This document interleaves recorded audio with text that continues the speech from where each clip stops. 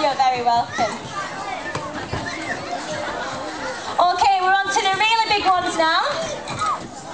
First of all, I'm going to present... This is our Dancer of the Year. Now, everybody's not here anymore, so she can't win it. So this year, we've had somebody completely different. I will tell you, it was extremely close. The second place, you haven't won this, but I will tell you who came in second, was Danielle Corson. And there was one mark in it. No, she hasn't won in it. And it was it was really, really close. But these two got the majority of the votes from all of you lot. So the winner of the Students' Dancer of the Year goes to Taylor Bickerstaff.